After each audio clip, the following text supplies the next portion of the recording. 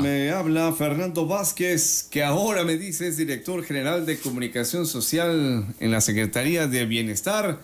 Fernando estaba hasta hace poco en Insabi, pero ahora entiendo que se hizo algún enroque. Fernando, ¿cómo estás? Te saludo, buenos días. Muy buenos días, estimado Hugo, buenos días al auditorio de telereportaje. En efecto, eh, estamos en el servicio público al frente de la Dirección de Comunicación de la Secretaría de Bienestar.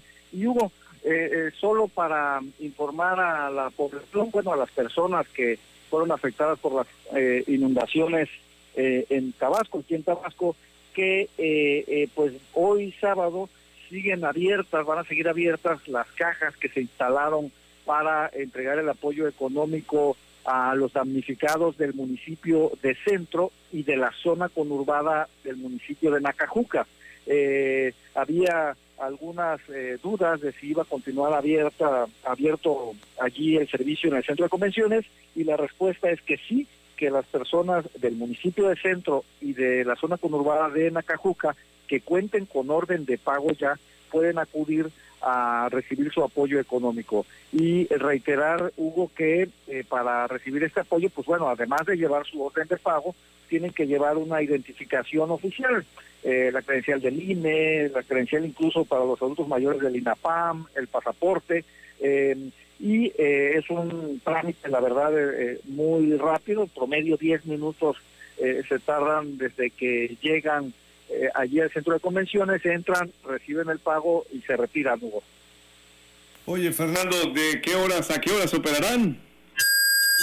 Eh, este, las cajas abren a partir de las 9 de la mañana y están hasta las 9 de la noche, por lo cual eh, se reitera el llamado a que las personas acudan con calma.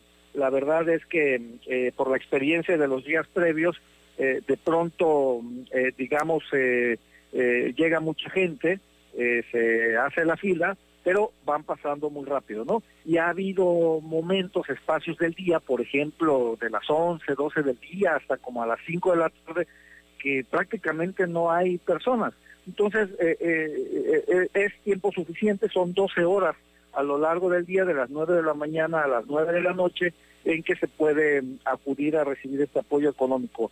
Ahí están eh, eh, compañeros servidores de la Nación, eh, técnicos sociales del programa Sembrando Vida, el propio secretario de Bienestar Javier May Rodríguez ha estado allí en el centro de convenciones supervisando que todo marche bien, la subsecretaria de Desarrollo Social y Humano Ariadna Montiel, el coordinador de delegados, el, capitán Carlos Merino, en fin, hay, todo un equipo de trabajo permanentemente eh, que está allí eh, supervisando para que las cosas marchen bien, Hugo.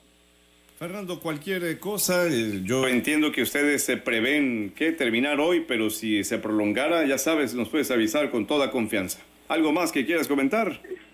Sí, que, que, que las personas pues acudan, insisto, con calma, llegan adultos mayores, llegan también personas con alguna discapacidad, todos son atendidos, auxiliados, orientados, eh, de modo que eh, pues eh, e, este centro de convenciones las cajas van a permanecer y ese es el objetivo de pues pagarle a todas las personas, ¿no? De que reciban su apoyo, que hay que puntualizar es este programa que se emergente que se dispuso pues para ayudar a las personas que perdieron sus cosas por la inundación está hasta las eh, de 9 de la mañana a 9 de la noche eh, y reiterar, además de llevar su orden de pago, debe llevar una identificación oficial, porque luego eso atrasa o genera alguna molestia, pero es necesario eh, pues para poder entregar este apoyo económico. Las personas con orden de pago del municipio de Centro y de la zona conurbada del municipio de Nacajuca, Hugo.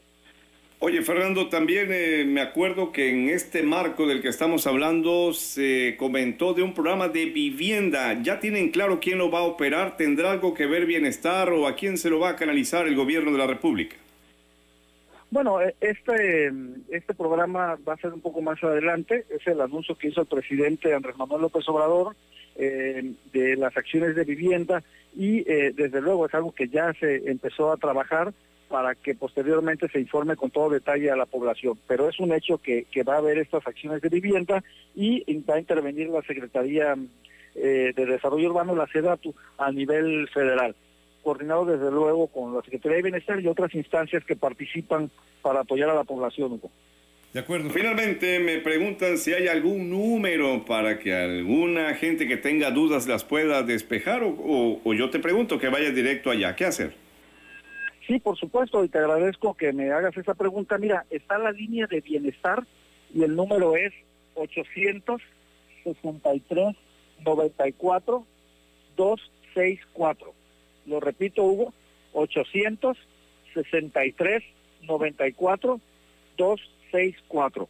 Es la línea de bienestar y allí las personas que tengan alguna duda, inquietud, eh, que requieran alguna orientación sobre todo esto que se está llevando a cabo, pueden marcar y son atendidos, Hugo. Fernando Vázquez, te envío saludos y éxitos. Muchas gracias, Hugo. Un abrazo y saludos nuevamente al auditorio. Igualmente para ti, es eh, Fernando Vázquez, ahora director general de comunicación social de la Secretaría de Bienestar. Vámonos a la pausa, van a ser ya las 8 de la mañana, son en este momento las 8 en punto de la mañana. Desde Villahermosa, Tabasco. Sintoniza la señal de 104.1 FM. Transmite con 25.000 watts de potencia